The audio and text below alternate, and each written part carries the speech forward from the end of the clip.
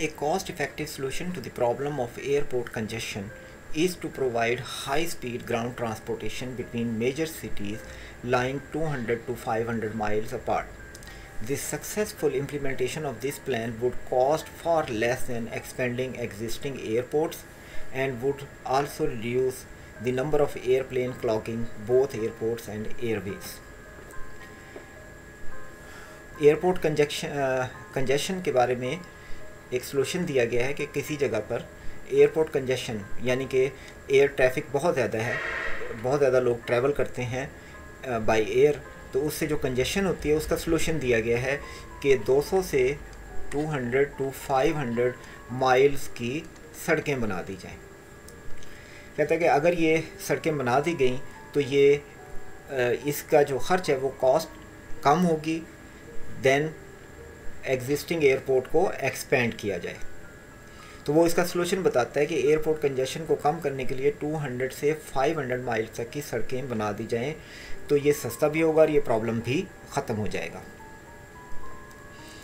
अब यहाँ पर देखें कि 200 से 500 माइल्स तक की सड़कों की बात की जा रही है। ये ये सोल्यूशन कब इफ़ेक्टिव हो सकता है? ये उस वक्त इफ़ेक्टिव हो सकता है जब बहुत से लोग 500 माइल के दरमियान दरमियान वाले सिटीज़ के दरमियान सफ़र कर रहे हैं। अगर वो 500 से ज़्यादा माइल्स की ट्रैवलिंग के लिए बाई एयर जा रहे हैं तो वो कभी भी रोड को प्रेफर नहीं करेंगे।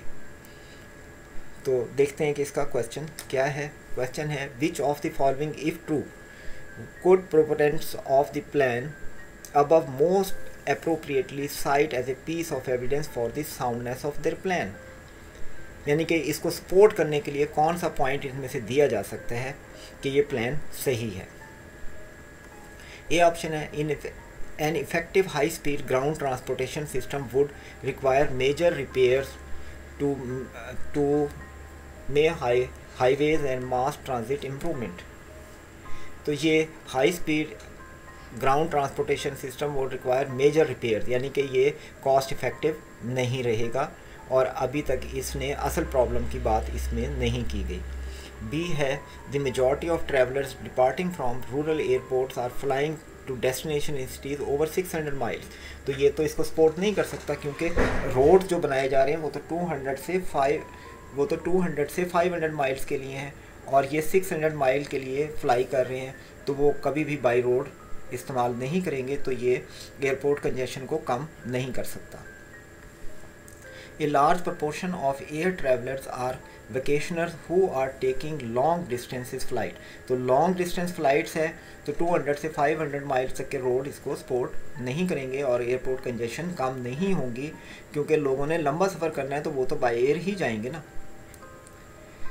अब है option D one half of all departing flights in the nation biggest airport head for a destination in a major city 225 miles away वो कहता है कि more than one half one half flight जो हैं, जो बिजिएस्ट एयरपोर्ट में हैं, वो 225 माइल्स अवे तक के लिए लोग सफ़र करते हैं। इसका मतलब है अगर 200 से 500 माइल्स तक के, की सड़कें बना दी जाएँ तो लाजमी तौर पे लोग सड़कों के ज़रिए भी सफ़र करेंगे और एयरपोर्ट पे कंजेशन ख़त्म हो सकती है। इसलिए इस क्वेश्चन का आंसर बनता है ऑप्शन डी ई ऑप्शन में है many new airports are being built ये री रेलिवेंट है, क्योंकि ये एयरपोर्ट कंजेशन के लिहाज से सही नहीं है, उसमें जो सोल्यूशन दिया हमने, उसको लेना था। तो इसलिए इस क्वेश्चन का करेक्ट आंसर है ऑप्शन डी